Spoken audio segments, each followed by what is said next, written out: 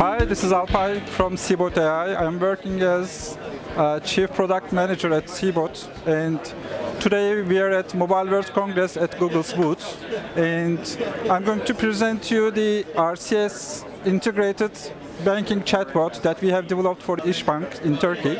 In this app, you can just ask any type of questions that you would be asking to your bank about interests, about loans, and about the ATMs or branches, etc. So let, us start. Uh, let's say I I want to buy a house. Okay. I want to buy a, a house, and when I send this to through the RCS client, the bank responds with the available type of loans. Let's say, okay, housing loan, this is what I'm selecting. It says, okay, what's the payment term that you're going to pay it back?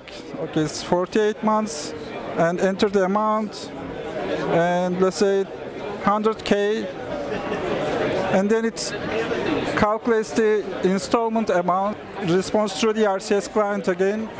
Uh, let's say we want to find the ATMs in a, in a specific area. I can just type ATMs in Maslak, this is a district in Istanbul, and it will just respond with, with a rich media which wouldn't be possible in, in SMS. So I can just browse them.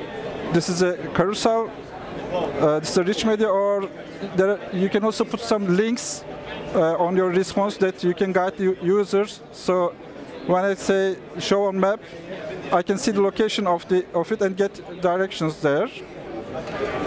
Or let's say I want to calculate the interest rate and I can say I have 100k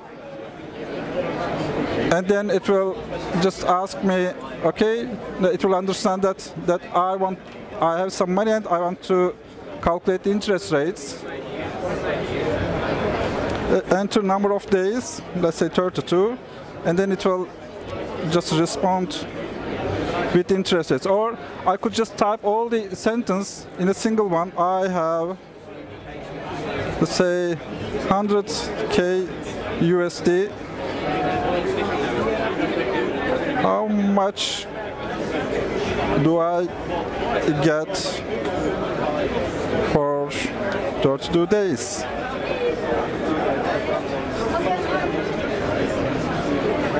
Here we get the same results. So uh, there's an NLP engine behind this application. So th there is no agent sitting back in the office and responding all these. We have an NLP engine. So all the messages are transferred from uh, through the RCS client to the bank system, and there the NLP engine is getting the messages, responding, and sometimes uh, communicating with the backend services to calculate the uh, queries, and then responding through the RCS. And this is a lot richer when compared to SMS or uh, other type of legacy uh, messaging systems.